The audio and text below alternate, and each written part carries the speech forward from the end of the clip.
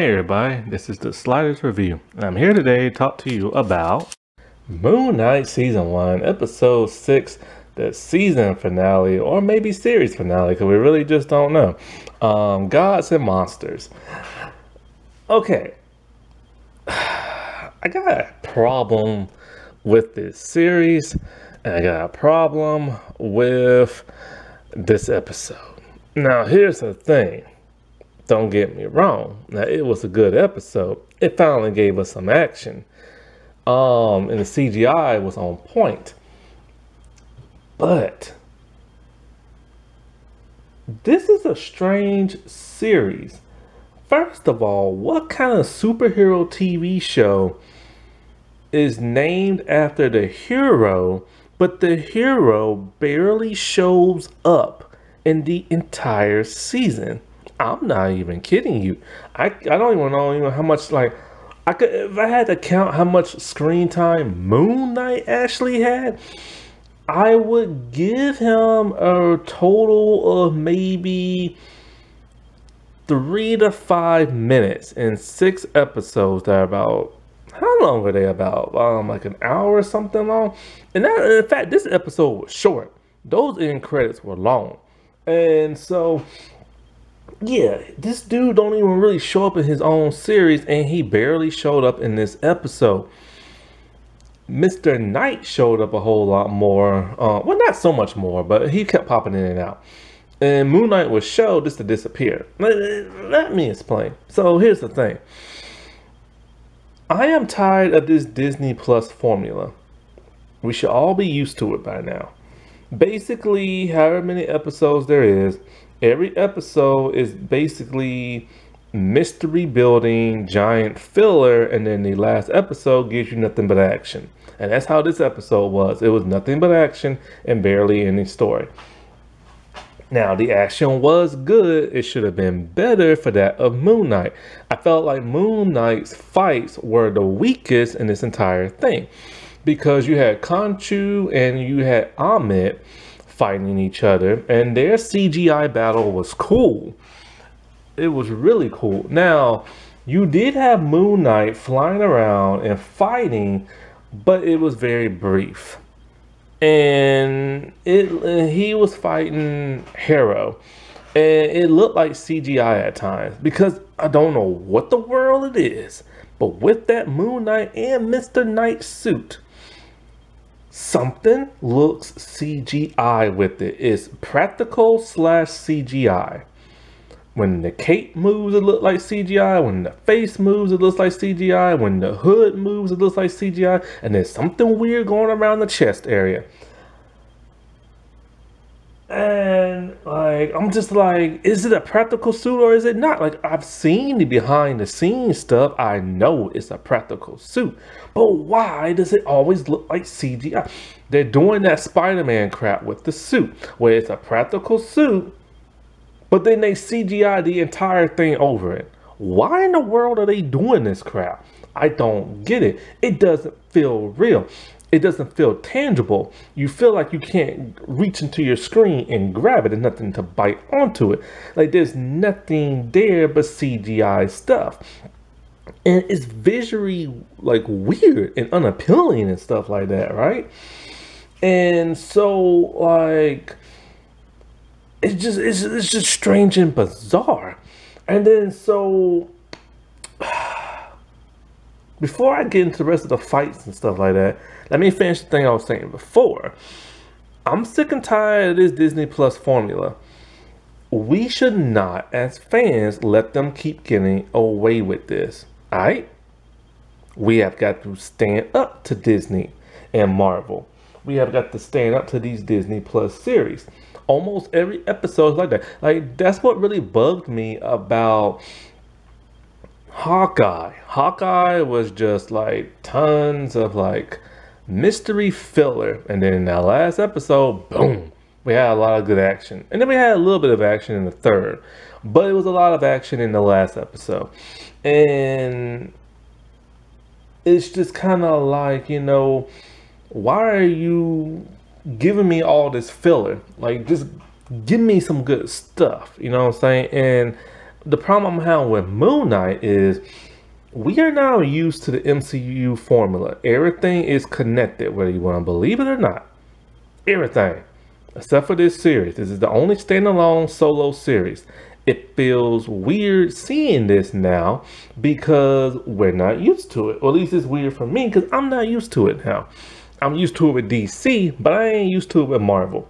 Everything has to connect. How in the world is Moon? Because Kevin Feige and the creator of this show even said that this is going to connect to the MCU movies.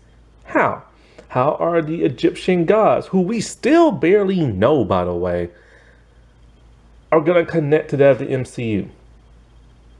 How?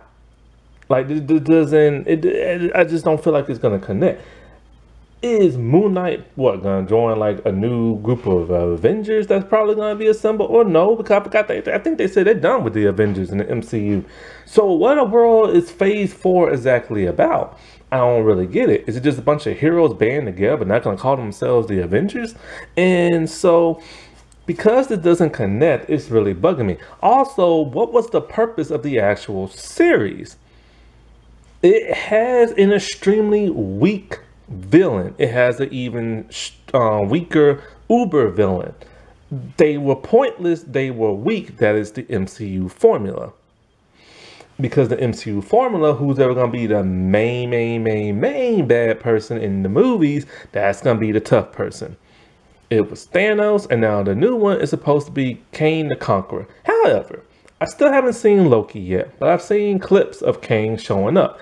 If that's how he's gonna act, for like the movies all silly and goofy, no thank you. I will not watch. I will not watch the movies. I will watch something else. I will not sit through Disney baby humor. Speaking of which, thank God this episode didn't have much baby humor in it. It only had a tiny bit. But when it did, I cringed. When Steven saw, uh, saw the hippo laying like, hippo, I'm just like, let me come through that screen and Will Smith you in the face. I could not take it. And it was it was brief and I could not take it. I cringed. I wanted to slap him. I do not like Steven. I I don't like him. This show set us up to like Steven and I don't like him. I'm sick of his gooberish nature. I'm sick of him acting corny. I'm sick of him acting like a coward. I'm sick of him and his comedic baby humor. All right, when he died in episode five, I was happy. But then here comes Steve, no, here comes Mark saving him. And I'm like, oh, you little punk, you. and everything. Like, you, like, let him die. let him die. and so I was pissed about that. But anyways, I know I'm jumping around. That's because I'm just irritated with this episode. Like I'm irritated. It was a good episode, but there were little things in there that irritated the crap out of me because this uh, this this whole series was lame. It was pointless. It was dull. It was boring. It took us on a trip, and for a couple of episodes, you didn't even know what trip you were going on for what reason. And because the main reason is Arthur Harrow just wants to resurrect Ammit. Uh, he was the former like champion of um, Khonshu. He got cast out. He got pissed. He walks on glass for his atonement and everything. And then he carries around that stick with the, the, the magical power things. And he's a lame villain. I I've been seeing so many people jumping for joy in this episode, talking about it's so great and this and that. And Moon Knight's the best thing since the Punisher series. Who in the world said that? but I read that comment and I'm just like, no. and so, like, he wants to free Ammit. And in order to do that, he has to get the statue, which he now has because he shot. Uh, Mark. And Mark is dead. Mark's in that um that, that, paradise uh, field. Which by the way, I saw somebody commenting talking about um, they ripped this off of um, Zack Snyder's Justice League because Superman was in that field of dreams type thing. And yeah, it does look similar. However, it also looks similar to when Thanos was in um, Soul World, but not really. But the whole open field thing, yeah, that came from Zack Snyder and stuff. Like it's a it's a literal copycat ripoff of that, and it's kind of like they couldn't come up with anything different than that. But anyways, I digress. So he has to um, go to like you know that that that, that pyramid thing and and resurrect his alligator person. And so like um I think um Layla she follows because she's gonna kill um Harrow. Because she's pissed because he killed like um both Steve and both um Mark. Which now she likes Mark like what the world? Because um yeah she kind of um hated him and wanted to kill him two episodes ago. Um but now she's back to liking him. And so like she follows and she's about to kill. But then the hippo lady, whose name I still don't know, by the way, they only say her name by once or twice, and I just don't know it. I'm not going to read it and say it because they should tell me over and over. Hippo lady talks to her from the dead to the dead people, and she's all like, oh, you know, Mark doesn't want you to kill him, and blah, blah, blah, and stuff like that. And so we have to free Khonshu. So she follows him to the tomb place, but she gets like found out. So she's running and she's running. Now here's the one thing that bugs me all the Egyptian gods, they suck. Um, after like you know like um like seriously, uh, their avatars got magical powers. They all got their butt whooped off screen. Once again, the action was off screen. They got the butts whooped by Harrow. He just has a, a stick with magic powers. How in the world did he beat all those avatars? He's not even that great of a villain. And he's that powerful with his little stick. But anyway, she runs, she finds Khonshu, and so she frees him. Um, she frees him after Ammit is freed. You know, Ammit doesn't even really seem that bad of a villain. And I didn't even know she was a female. Um, this is how much about the Egyptian gods I know little about because the show doesn't really tell you nothing. But yes, I went online and finds out from it's hard to find. You can't find on Wikipedia. After doing some soul searching online, yes, she is female after all. And um, so she doesn't even seem that bad of a villain to tell you the truth.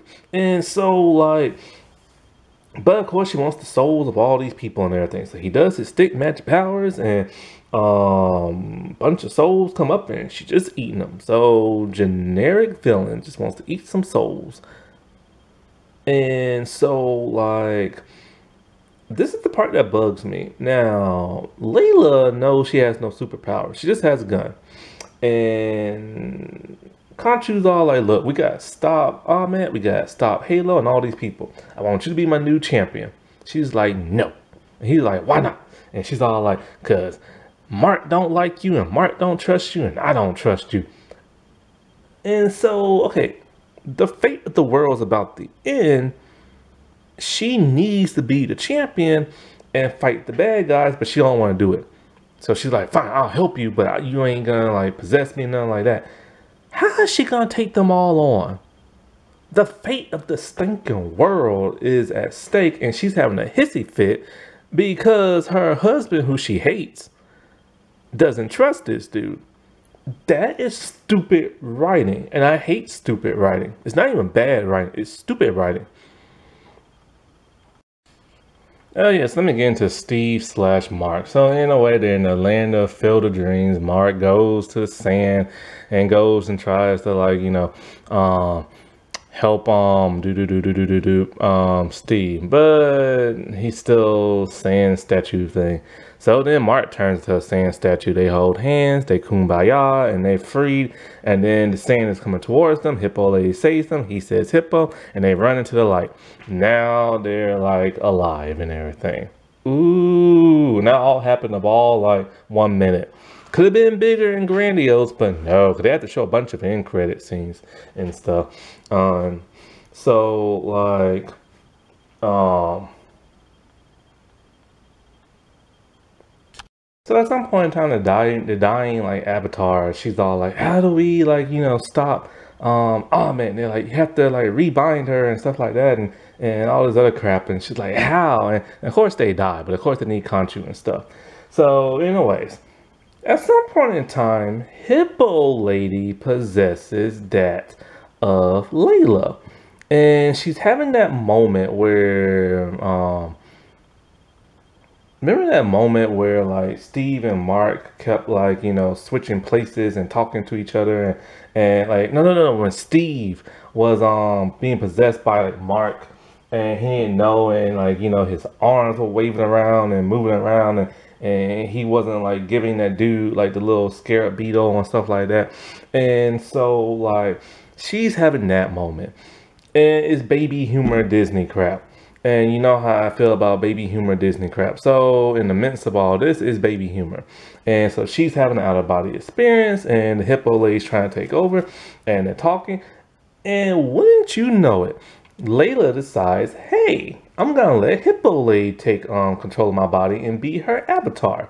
Hippo Lady who she doesn't even know. Now, here's the thing. She don't know Hippo Lady. She knows Khonshu through Mark. So why wouldn't she let Mark take over her body? No, um, Khonshu. No, she lets Hippo Lady and stuff. But she was so adamant about not being an avatar and being a champion. But she just up and lets the Hippo Lady takes over. How does she know Hippo Lady's even good? Because it's stupid writing. But she takes over. She gets a nice little costume and wings. So this is a problem I'm having right now. First things first, let me get to a comment I read online. Somebody said, now that Marvel gave Layla wings, I guess DC is gonna start having more heart, um, Hawkgirl and their stuff. Okay, first things first, who the heck writes that? You don't know your fandom. Okay, Hawkgirl has been appearing on screen for a long stinking time before this series even came out. Um, the first I knew of was Justice League and Justice League Unlimited. I then she cameoed in Smallville, and then she appeared in Young Justice. But oh wait, she was in the first season of Legends of Tomorrow, wings and all. And then guess what? Person who don't know their history, she is going to appear in the um the Rock's um what is it Black Adam. So yeah, um DC don't need Marvel's help to reintroduce fans into an Egyptian like warrior with wings. I and so my other problem with this is I would have been completely fine with Layla being a superhero and everything like that, if it was like the second season or third season, it would, and you know, the second season would have been fine. My problem is the first season's only six episodes. Moon Knight has barely showed up in his own series. We've barely got any action scenes with that of Moon Knight. And now we're getting a brand new superhero who, by the way, is a heck of a lot more impressive than that of Moon Knight. Her fighting skills are awesome, but Mark is supposed to be a mercenary, but his fighting skills suck. And so now Layla and her superhero avatar type thing is overshadowing that of Mark Moon Knight. And yes, she overshadows him. That is messed up. Could you imagine if Speedy or Arsenal would have showed up in the first season of Arrow and overshadowed him or Kid Flash in season one of The Flash. Like, you see what I'm saying? To give you a good prime example, Batwoman that just got canceled. They were going to introduce Luke's Batwing earlier on in season two, but when Ruby Rose left and they had to reboot the se um, season uh, or series and bring in Ryan Wilder, they didn't want Luke's Batwing to overshadow that of Ryan. So they brought him in in the finale of that season. And they had a good 20, they had a good 18, 20 something episodes, right? However many episodes Batwoman has. So, that was the proper way to do it. They would have brought Luke's Batwing in early, then people would have been like, well, screw Ryan, because we just want to see Batwing and everything. And so this is the problem I'm having with this. They should never have had Layla's character be like a hero.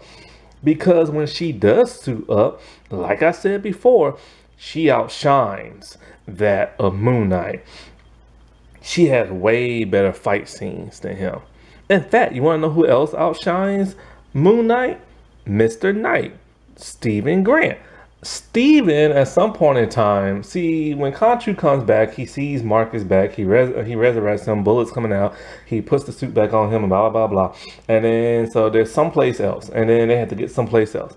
And Mark's all like, well, how am I supposed to get there? And he's all like, you forget, I'm like the god of something, the stars or something like that. And he's able to now give Mark the ability to fly, because Mark could not fly before. Because, you know, in the comics, he has that jet but they ain't gonna do that here because he's not a vigilante, so they just make him fly. And so he's flying, but then Steven, being an idiot that he is, wants to take over, and then they fall. But then they fly back up again because he lets Mark take over. So anyways, at some point in time during the fight, when Mark does like, he's like fighting as Moon Knight, Steve decides he wants to take over for some bizarre reason when he sees like Layla or something. And he has these billy clubs, like you know that he does. And he's actually whooping on the bad guys. When did Steve learn how to fight? Was it when he was in the underworld? Because I don't remember that in any other episode. But he's whooping on people. And then um, Mark takes back over again. And then Mark's fight is very unimpressive. Again. Now, like I said before, Ammit and Khonshu fight was cool, but it was just basically two giants pushing and shoving each other, and that's about it. And their fight scene only lasted for only a couple of seconds, but it was still more impressive than whatever Mark did. So then, you know, like, um, a lot of bad stuff, a lot more bad guys are coming, and oh, Mark, the mercenary, he can't whoop on people no more for some reason. Everybody's kicking his butt now. And so Layla is pinned down. But she takes on um, Harrow as two, but then she gets pinned down as well. Now this is the problem I have with this part.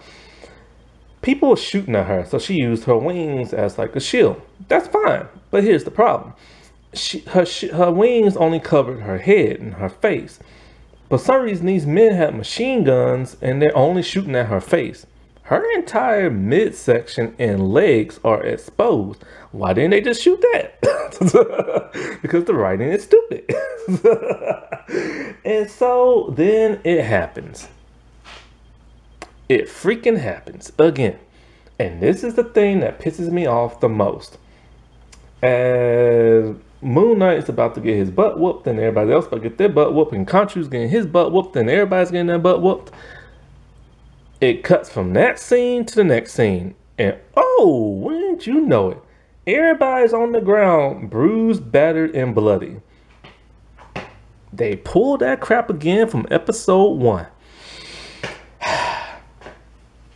Once again, one of the coolest fight scenes we could have seen has now been done off screen. Mark and Steve are switching back and forth like, hey, who did that? And they're like, well, it wasn't us. And then Layla's all like, Mark, what was that? He's like, I don't know, I blacked out. and. And of course, we all know who it is, Jake Loxley. But we don't get to see him fight. So then, um, what is it? Um, they take like Harold. He just got his butt whooped too by Jake. And they all like, we have to rebind Ammit. And so Layla's like, come on, I know how to do it. Who taught her how to do it? A couple minutes ago, she didn't know how to do it. Was it the hippo lady? Cause we didn't see her hit nothing talking about how to like seal up like Ammit. So they go back into the cave. They do some magic spell and everything. And then it goes inside of that of Harrow. So then Khonshu's all like, kill him and everything. You kill um, Arthur um, Harrow, then you kill Ammit as well and then a great evil is like gone from the world. He's about to do it until I think like Layla or Steve are like, don't do it, don't do it. So he's like, I'm not gonna do it no more. I'm not here for vengeance. And and so then I'm just like, you idiot. A great evil threat that's not that threatening, by the way, um, is gonna destroy the world, and you ain't gonna kill it. like, what the world's wrong with you? He's all like, I don't want to be your champion no more, and blah, blah, blah, blah, blah, blah, blah. So Khonshu takes his powers back. Like, are you freaking kidding me? I just want Moon Knight. That's all I want. That's that's all I want. That's all I want. That's this literally just all I want. And now he ain't gonna be Moon Knight no more. F you, Disney. F you. And then so then the strangest thing happens. We get a scene. I don't know if, if, my, my, if my Disney Plus was messing up or what, but we get a scene where Harrow is back being a psychiatrist. Mark is, or Steven or Mark, one of those two, is in the uh, the asylum and he's talking to him and he's walking around. Okay, at first I thought my TV was messing up, but it's not. I'm like, did it go back to like another episode? But then he's walking on the floor and there's blood coming from his feet. And then it goes from that to Steven in the bed and Mark's all like, I can't believe you live like this. And then he gets up and he falls. Cause baby humor. It's a tie back to the first episode of Steven not knowing what the world's going on and has to tie himself to the bed because you know another personality comes out. I am confused. I am confused. I am confused. Did he did Khonshu turn back time or something? Um because time travel is impossible, remember? Because if you turn back time and you alter it, then it doesn't change the future. It just creates an alternate reality. Remember um, Infinity War and stuff and Endgame and all the other crap? So then it ends. And I'm thinking to myself, that's it? Like this, this that's it? And then so then you have to wait for the end credit scene. Cause before this episode, I watched it. I was on YouTube and somebody's all like, "End credit scene explain." I'm just like, "Wow, that dude sure does look like a taxi cab driver." So I went all the way to the end credit scene, and it's somebody getting Harrow out of the asylum. Now he's locked up, and we see a limousine. This is the same limousine from the comic book where Steven Grant drives, and so we see Khonshu human size, wearing a suit, kind of like it is from the comic. And so he's talking to Harrow, and he's all like, you know, Mark doesn't want to do it, but I got somebody else that will, and blah, blah, blah, blah, and blah, blah, blah. And he taps on the window, like, meet my friend Jake. And it's, of course, Mark as Jake Locksley. He takes out a gun and he shoots the brains, or he blows the brains out of, like, Arthur. So now he is dead. So then it ends.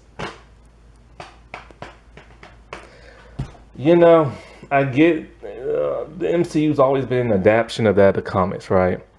I get that. They do their own thing. But normally when they do their own thing, it's still good. I don't know what the world I just watched, and I don't know why I just watched it. And, and uh, it's just kind of like, that's it. This is the spectacular Moon Knight you gave us. It's not bloody. It's not gruesome. The fight scenes were all done off screen. Whenever there was a fight screen early on in the series, it was totally lame. Then you give us a pretty okay fight scene here, but then Moon Knight still gets outshined by everybody else. And it's kind of like, so you mean to tell me I spent four episodes of some man who walks on glass who just wants to resurrect this evil Egyptian god, and the other Egyptian gods aren't doing anything to stop it. and then they have to find a scarab beetle because that's like a compass. And then when he finally finds the the, the the, the, the statue thing and resurrects his giant alligator lady, it's just it's all for like nothing really. Like, he just wanted to suck a bunch of souls out of people? And so then there's the whole love triangle y'all created between Steve himself, Mark, and Layla. And then but this is why I don't get. Layla wants to kill Mark, so she don't want to kill him no more. And what's and what's gonna happen to her? What's gonna happen to her her, her, her, her avatar? Oh, and then the other avatars are a bunch of punks who died from a dude with a magical staff, and they got magical powers of their own. But the Egyptian gods act like a bunch of little weenies. F U Disney Marvel. This is one of the lamest superhero shows I have ever seen. And this is coming from Marvel, and Marvel does a good job. That's what's scary about it. I don't care. I rather watch Iron Fist than to watch this. And I hate Iron Fist. but I rather watch that than to watch this. And that's embarrassing to say. I I rather watch the first season of Agents of S.H.I.E.L.D. Because of that first season, I never watched again. Supposedly it got better. I don't care. I didn't watch it. I mean, heck, I like Marvel's The Runaways. That was actually a pretty good show. I like that whole lot, heck, a lot better than this. And that show has its problems, but I like it a whole lot better than this. And so I'm tired of this formula of Disney. I'm tired of this lackluster crap. I'm tired of the baby humor. We have got to stop letting Marvel get away with it because they're going to keep doing this with other series. Look at WandaVision for crying out loud. It was a cool series. It was fun. My bad. It was like a cool series. It was fun. But for a bunch of episodes, it was just a mystery. Then they gave us a bunch of action in the last episode.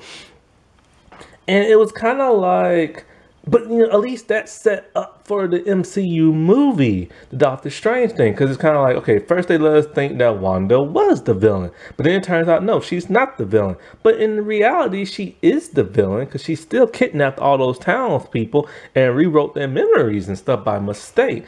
And from what I'm hearing, from early hey this is like a spoiler for doctor strange 2 this is what i'm hearing from other youtubers and stuff Doctor Strange, the second movie, is having mixed reviews. Some people says it's too much of a Sam Raimi movie. Now, if you love Sam Raimi older stuff, then you're gonna love this movie. But if you like the MCU stuff, then you ain't gonna like this movie, supposedly from what people are saying. And from what people are saying when it comes to WandaVision, it's like it undoes like that of WandaVision. Like she's just bad for the sake of being bad and everything. And a lot of those cameos don't really matter because they're just like, eh, and stuff like that. So don't give your expectations up too high if you watch Doctor Strange, apparently, from all these other YouTubers, because it, it, it's okay. And I've listened to two different YouTubers and stuff, and they're saying the same crap. And that's what's scary. when more than one person starts saying the same thing and more start jumping on that bandwagon, it's gonna be a dud probably because this was supposed to come out before Spider-Man Spider-Man No Way Home. But since Spider-Man No Way Home came out first, they had to rewrite a lot and reshoot a lot of Doctor Strange. And I bet you anything, it ain't gonna be that great. Also, they had to make Sam dial, um, dial down the, the horror aspect of it. Cause I think it was too scary, I think, at first. They had to have that PG-13 rating. But they say it is very much a, a horror type movie, but it's Sam Raimi, so it might be on the level at times of probably not the Evil Dead 1, but probably Evil Dead 2 or Army of Darkness. Probably more so Army of Darkness. Because they said at one point the dialogue was so weird, people was laughing at the movie. And not in a good way. So, what's the point? That's my thing. Just what's the point? I think Marvel's trying to sabotage themselves. I really think they are. Unintentionally, that is. and stuff. Because what are they doing? Like, seriously, just like, what are they doing? And everything. Alrighty. Well, I'll talk to y'all later. Bye.